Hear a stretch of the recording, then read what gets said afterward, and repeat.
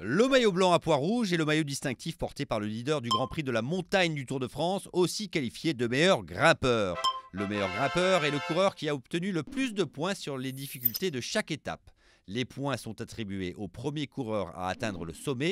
Le nombre de points accordés dépend de la difficulté de l'ascension et les points sont doublés sur les arrivées d'étapes jugées au sommet d'ascension. La difficulté se calcule en fonction de la longueur et de l'inclinaison moyenne de l'ascension. Le Grand Prix de la montagne du Tour de France a vu le jour en 1933 et s'accompagne depuis 1975 du port du maillot à poids.